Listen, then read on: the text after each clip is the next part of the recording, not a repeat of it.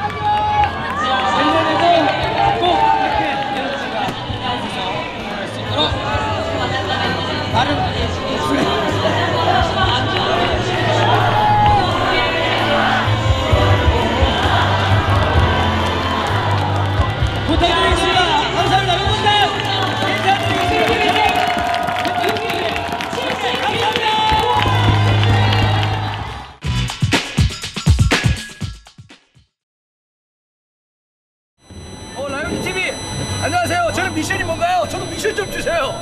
저는 마지막 미- 인사해주세요. 네, 마지막 인사. 2019년 한해 어, 벌써 이렇게 빨리 막을 내리게 되었습니다.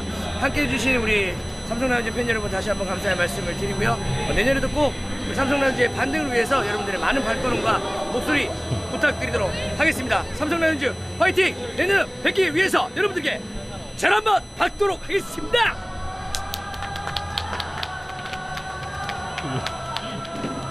라이온즈 화이팅! 왜 주변이 다 창피해하는 거야?